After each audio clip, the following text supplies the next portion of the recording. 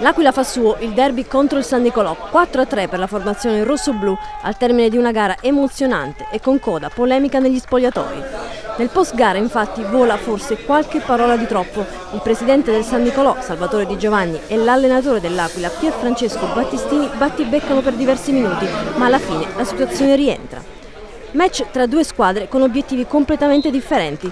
Biancazzurri a caccia di punti salvezza, l'Aquila invece a caccia di punti playoff, con Battistini che vara il 3-4-3, con Boldrini, De Iulis e Padovani tridente d'attacco, mentre dall'altra parte Montani rispolvera Di Benedetto dal primo minuto e dà ancora fiducia a Tiboni. Fiducia che verrà ripagata nel corso del primo tempo, ma in avvio di gara è Boldrini a sfiorare il gol del vantaggio, con Cannella che riesce ad opporsi al tentativo da parte del numero 10 aquilano. Ad andare in vantaggio è invece il San Nicolò Contiboni, che al decimo è più rapido di tutti sul secondo palo a raccogliere un cross e siglare il primo gol in maglia biancazzurra.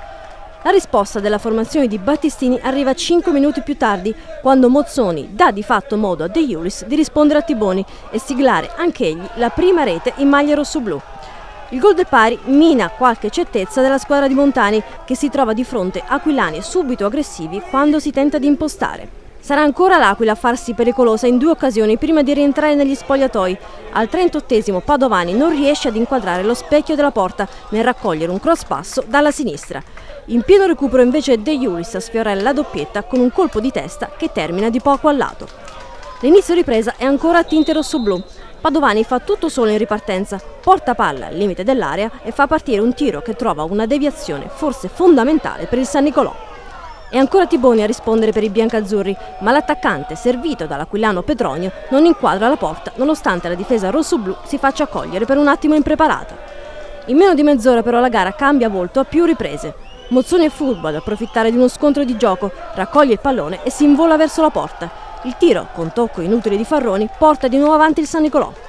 Due minuti più tardi però è ancora De Iulis. L'attaccante rosso-blu, finalmente protagonista, svetta più in alto di tutti in area per il gol del pareggio dell'Aquila. Un minuto dopo Boldrini si lamenta di un contatto in area di cui è protagonista, ma il direttore di gara lascia proseguire. La noia è molto lontana dall'ex castrum di Giulianova e la nutrita presenza ospite esplode nel vedere Boldrini far partire un destro dalla distanza ed insaccare alle spalle di Cannello un gol da Cineteca che porta per la prima volta avanti i rossoblù.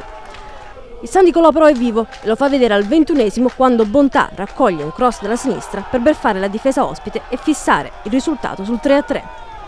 Le emozioni della prima mezz'ora però della ripresa non sono ancora finite e trovano nuovo sfogo quando Sieno infila ancora Cannella anticipando la difesa biancazzurra per portare avanti di nuovo l'Aquila. Montani prova a cambiare qualcosa, inserendo tra gli altri anche Moretti e Chiacchiarelli, ma il San Nicolò accusa il colpo dopo il gol che sarà alla fine decisivo di Sieno. I biancazzurri nel recupero rimangono anche in 10 uomini per il secondo giallo a Bagaglini. Finisce con l'Aquila che festeggia per dei punti chiave in ottica playoff e con il San Nicolò che dopo la sosta proverà a ricominciare la marcia salvezza. Che è caduto nel finale di gara? Niente, niente, niente. è finita la partita e abbiamo festeggiato con la squadra perché è una vittoria per noi che ci hanno dei falliti, per noi che ci danno una vittoria molto importante, una vittoria dello spirito, una vittoria dei ragazzi che non si arrendono e lavorano, che lavorano nonostante tutto, ragazzi onesti.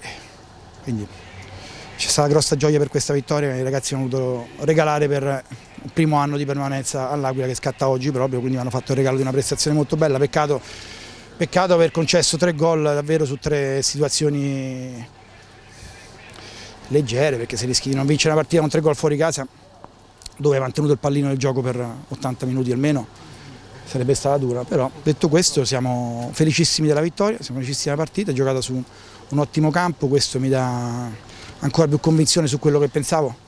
Ho voluto fortemente questo anticipo a Castrum apposta perché sapevo che potevamo giocare in questa maniera su un campo, su un campo sintetico che ci dava l'opportunità di mettere in mostra le qualità tecniche che sono venute fuori oggi.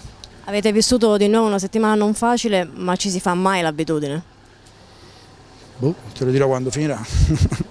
Detto questo, eh, noi abbiamo cercato sempre di concentrarci su, sul nostro lavoro. Ecco, quello che la gente non capisce, anche quando ci ha dei falliti, quando ci tanto falliti, tanto sparite, tanto contate niente, eh, perché magari da altre parti ci sono difficoltà, è che noi siamo attaccati al nostro lavoro in maniera clamorosa e quindi anche sentirsi insulti, queste cose da queste persone che non capiscono cosa vuol dire stare a lavorare in queste difficoltà, facciamo fatica a prenderceli e anche a goderci magari una vittoria su una partita corretta, bella, tatticamente interessante. E un po' ci dispiace per questo perché alla fine credo che la vittoria sia stata netta e meritata. È una squadra che forse l'ha meritata giocando a calcio, non facendo mai ostruzionismo, eh, provando a giocare ogni volta palla a terra e tutto, dove esce al campo non sentendosi dire che siamo dei, dei falliti, che stiamo fallendo, che tanto spariamo lo stesso, anche perché io non credo sarà così. E credo che la prima cosa che va imparata nel calcio è il rispetto anche dell'avversario e di chi ha difficoltà oggettive. Mister, due volte avanti e poi quel gol di Siena nel finale probabilmente vi ha tagliato le gambe. Sì, una partita che secondo me fai fatica a commentare perché è stata, penso che il pubblico oggi si sia divertito abbastanza. Siamo stati in partita sempre contro una squadra forte, lo sapevamo, grande palleggio, giocatori di qualità, ma i ragazzi hanno dato tutto anche oggi. Forse in qualche, in qualche occasione siamo stati un po' polletti, tra virgolette, però eh, come sempre gli episodi nel calcio fanno la differenza, anche oggi purtroppo sono venuti contro, l'abbiamo ripresa, siamo andati in vantaggio, in svantaggio, abbiamo fatto un po' tutto noi, però non eravamo, come si dice, fenomeni domenica scorsa con la Desina e non saremo brocchi oggi, ci rimbocchiamo le maniche, c'è la sosta e poi prepareremo con calma l'altra partita.